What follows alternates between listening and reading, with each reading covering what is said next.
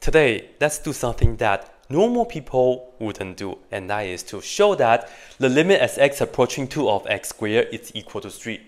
And you might be wondering, this is wrong, isn't it? You are correct, because the actual answer for this limit is 4, not 3. So today, we are going to show that this limit is not equal to 3. How can we do this though? Last time I already showed you guys that this limit is equal to 4 by using the epsilon delta definition. Today, when we want to show this is not equal to 3 or any other number, we will still have to use the epsilon delta definition, but the negation version of that. So let's go ahead and do a quick review. Firstly, when we have the usual limit as x approaching some number a of a function, and let's say this is equal to L.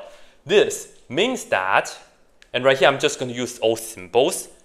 We have for all epsilon greater than 0, there is a delta greater than 0 such that, but you don't really have to put on st every single time. Here's the deal. Usually we just continue with the absolute value of x minus a, so on, so on, so on, right? However, right here, we really have to put down for all x. Why? Because if you look at this statement, we have the x. The x has to appear in the definition. We need to mention that for all x, that's going to satisfy the following condition. This right here is necessary, especially when we do the negation of the epsilon delta definition. If you are just trying to prove this, then the for x, I think is it's okay when people don't put it. Yeah, in my opinion. But anyways, for x, what? For x, so that when x is approaching a, that means the distance between x and a is close, right? That means the absolute value of x minus a, how close is close? Less than delta.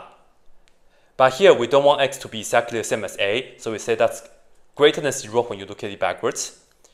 When we have this, we will get right? This is an if then, so this is an implication. We will get what? We will get that the distance between the function and the limit is small. How small though? Less than epsilon. So this right here is the usual epsilon delta definition for limit being equal to L. Now, we are going to show that this right here is not equal to L which means that we are going to do the negation of all this statement. What does this mean though? Let's see. Firstly, this is really fun when you look at the front part. When you have for all, the exists for all, and all that. When you negate for all, you will get the exist. When you negate the exists, you will get for all. Let me explain. For all, let's just use an example. Let's say all the students are wearing red. If you want to show that's false, if you want to negate that, all you have to do is find a student, he or she is not wearing red. That's all. So not all students wearing red means there exists a student is not wearing red. So for all becomes there exists. And you still maintain epsilon greater than zero. You don't negate the condition here because it's like earlier, when we want to say not all students are wearing red, you want to say there exists a student. You're still mentioning student. You are not saying there is a dog, he's not wearing red. You don't care about dogs in that situation, right? So you still mention this part. Same thing here. Negating there exists, you get for all delta greater than zero. Now this part right here is crucial. You have to negate for all x. So you are going to get there exists x such that. Now we have this implying that. How do we negate an implication? The answer is we keep this. So we are going to say there exists an x so that we have this. So the absolute value of x minus a is in between of 0 and delta but we are not going to get this. So I put down this symbol. This means and. And we are not going to get this. Meaning that the distance between the function and L is not less than epsilon. This is the part that we will have to negate the inequality. We have to say this right here is greater than or equal to epsilon. which is the negation of less than, just like that. Why though? Let me just explain this real quick. When we have an if-then statement, for example, I can say, if it's Sunday, then I go play basketball. The negation for that is like, it's not true. If it's Sunday, I go play basketball means it's Sunday, but I'm not going to play basketball. It's like this. When we're negating if then, I say we have this, but this is false. We don't have this. So this is what we're going to use to show that. And here we go. Okay, remember, whenever we start the proof, we are going to write down PF first. Okay, so now let's see what we have. We start with there exists an epsilon greater than zero. And remember, when we have there exists, you have to state what this right here is equal to. And I'm going to use the word choose, so I am consistent with my usual, you know, given choose, suppose check, those four words. When you see there exists, you can say choose, or of course you can also say pick, or you can also say let. But the key is you have to say epsilon is equal to what, and you have to state that. Right here, the key is the epsilon is going to be a number. It's just a number, an actual number. What number are we going to use though? Well, here's the tip of how we can select an epsilon. What's the real answer of this limit? 4. What's the fake answer that we're trying to show that's not equal to? 3. The difference between 4 and 3 is 1.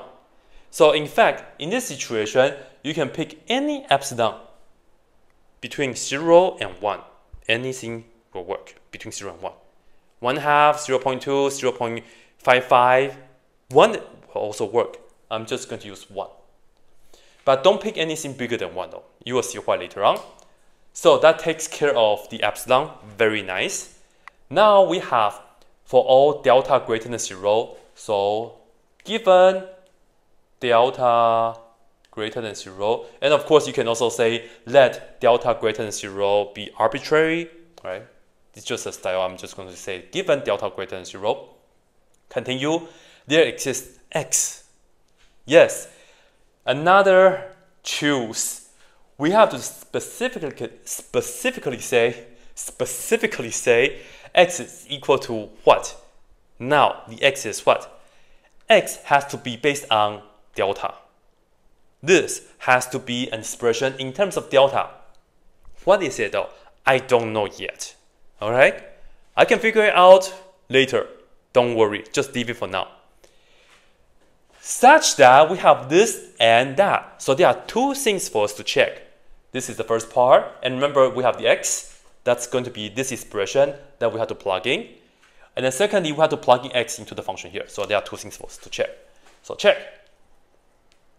Number one, we need to make sure that whatever this x is, it has to be in between of 0 and delta. The A in our case is 2, and the delta is just any delta. So it's not specific number or expression in this case, right? Is this true? I don't know yet, so I'll put on small question mark. Now, second part is that we have to check this. We have our function. Our function is x squared x is this expression that I don't know yet. I'll just put on x squared here minus the L, the fake limit, which in this case is 3. And then later on, I hope to show that this is greater than or equal to the epsilon that I picked earlier, which is 1. Is this true though? I don't know yet. This is what I wish to show. Now, to figure out this x, you have two ways to do it. The first way is you can think about it from this inequality. The second way is think about it from a picture. I'm going to show you guys how you can figure this out from this inequality first. It's not always going to work out nicely, but in this case it will. The picture way I think is better. Anyways, notice that here we have x minus 2. In the absolute value, somehow I had to make sure this turns out to be always less than delta and make sure it's positive. Imagine if we have 2 minus 2, that's 0, but I don't want this to be 0. I just need to have a little bit more, right? So what if we pick x to be 2 plus half of delta? How about delta over 3? Maybe it works too, right? Anything. just a little bit more. So let's just pick delta over 2. Will this work? Well, let's just go ahead and check. If I subtract 2, okay, 2 and 2 cancel very nicely. That's why I start with the 2. And then delta is greater than 0, so the absolute value doesn't matter. So here we have delta over 2. Is that in between of 0 and delta? Yes, of course. So now, this x right here looks pretty good. But is this always going to be whatever this number is and then just add delta over 2? No, not really. Sometimes you may have to subtract instead. Okay, but why do we add in this case though? Here is why the picture will be helpful. Let's look at a picture right here. Of course, we're looking at x squared. When x is approaching 2, the actual value, the actual limit happens to be the value as well because it's continuous with very nice, which is 4. This is the actual limit. The fake limit is 3, which is, let's say, down here. Okay. As you can see, the epsilon is 1 because, as I said earlier, the difference between the fake limit and the actual limit is 1. So this is the 1, right? And notice we can go up by 1 and also go down by 1. If we go down by 1, we'll end up with 2. And then if you go to the curve, on x squared, if you go down, this right here will be square root of 2. And that will tell you from square root of 2 to 2, any part right here, the difference between the value of the function and the fake limit will be less than 1 inside here. So what you want to do is, you see we have square root of 2 and 2. You want to go away slightly bigger than 2. That's why I picked something bigger than 2. Then that's why I picked the, let's say right here, 2 plus delta over 2.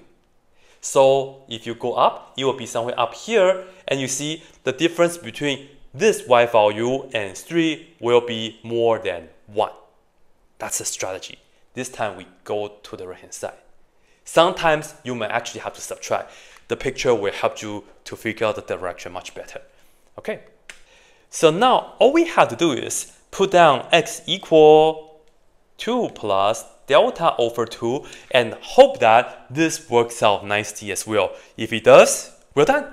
If it doesn't, uh, maybe we'll have to pick something else. Let's see. Right here, all we have to do is work out this inequality. So this is just what I wish to have later on. But you see that right here, the x is this, which is 2 plus delta over 2, and then square, and then minus 3. Okay, here is just the algebra part, which is nice. So square this, we get 4 plus 2 times this and that. 2 and this 2 cancel, and then just 2 times delta.